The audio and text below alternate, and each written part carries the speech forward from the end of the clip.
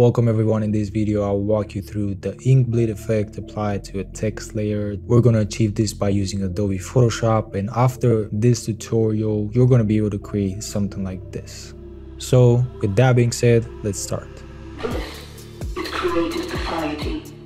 First things first, I'm gonna start a new document in Adobe Photoshop. It's gonna be 1080 by 1080 because I'm preparing this for a social media post. I'm just gonna invert the background layer to be black. You can do that by using the Command plus I shortcut. After that, I'm gonna place this photo that I found on unsplash.com. I'm gonna resize this, change the opacity to be 80%. Then I'll add a gradient map adjustment layer. I'll be looking for a gradient preset that I like, and then I'm gonna start adding text. Now for the text, I'm gonna use the Helvetica Neue font. Is going to be the bold weight. I'm going to basically make it so that it fits within the canvas. You can have a look at the character settings as well. For the kerning i'm going to use the optical setting. And then for the tracking i'm going to use minus 30 it's actually pretty common among designers to use these settings for this font. Once i'm happy with the text i'm going to start applying the ink bleed effect first. We're going to start with adding gaussian blur. We can do that by going to filter blur and then gaussian blur. I'm going to have to convert this into a smart object and then choose the radius to be one pixel. Then we're going to go again to filter, sharpen, and then unsharp mask. Once we click on that, we're gonna make sure that the amount is turned all the way to 500% and then the radius all the way to the max as well, while keeping the threshold to zero. If we zoom in, we can see the difference. This is the after and this is before, after, before. Then I'll be adding the title as well. I'm just gonna um, type in the word untouchable with the same font that I've selected before. I'm just gonna make it bigger. Now I'm gonna have to do something that is kind of painful to do, which is stretch the font. I don't recommend doing this casually if we're not going to apply any other effect after that. But for this video, just trust me, it's going to look nice after we apply the effect. Now for this title, we're going to have to go to filter, blur gallery and choose field blur. It's going to ask us to convert into a smart object. Just choose that. In this field blur window, we can actually add pins to choose where we want to apply more blur or less blur. We can actually move these pins and then sliding up and down, we can choose the blur amount. This gives you control over the parts of the text where you want to add blur we're gonna have to go to filter, sharpen and unsharp mask again. Here we're gonna have the same settings, amount and radius all the way to the max while keeping the threshold to zero. I'll keep on making adjustments till I'm happy with the look. I wanna make changes to the gradient map as well. I'm looking for something different. I think that this one looks pretty good.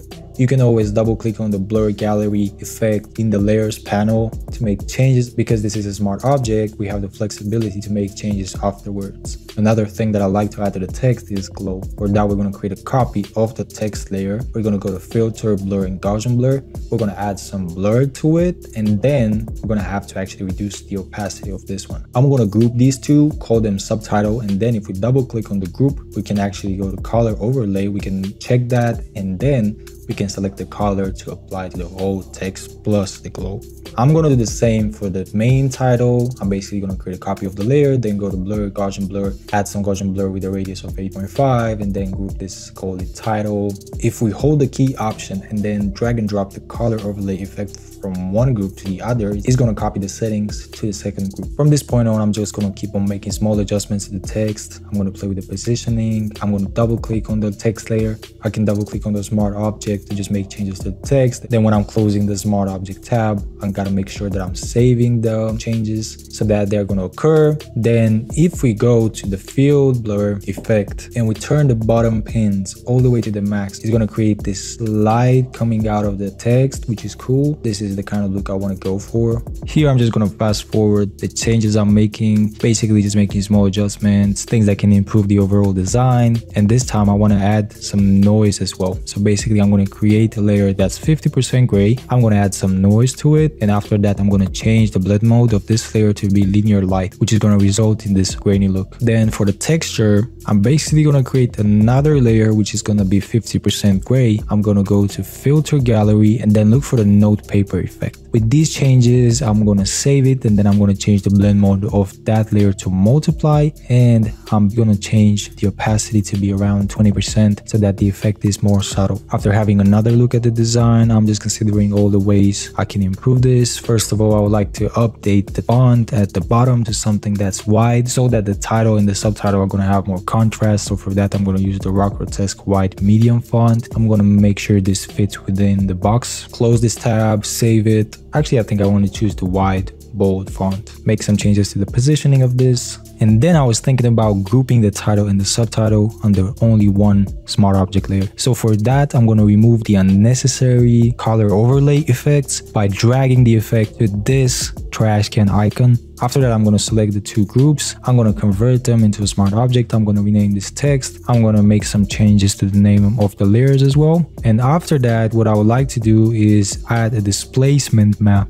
for that, I'm gonna go to filter, distort, and displace. For the displacement map, I'm gonna choose the values for the horizontal scale and vertical scale to be five. And then we gotta import our PSD file, which is gonna act as a displacement map for the text. I'm gonna choose this photo that I got from Unsplash as well. And now it's gonna look something like this. When I zoom in, I'm pretty happy with the result. It just makes the text look a bit more grungy, which is just improving the overall look. What I like about this is that if we actually double click on the smart object named text and if we check the color overlay setting, we can actually make adjustments to the color of the text, which is to change the color of the shadow as well, which I think is pretty cool. It's just giving it different vibes with different colors. If we want to go for something more radioactive looking, we can go with a bright green. If we just want to go with something more mysterious, we can select the red. And I feel like it's looking pretty well with different colors. That's pretty much it, guys. If you watched so far, why not subscribe to the channel? Why not like this video as well? That's to help me a lot. So if you consider this was helpful, drop a like, subscribe to the channel. Make sure you check out our other pages as well in the description of this video. So yeah, this was Trey from Creative Society. Hope you guys have a great week.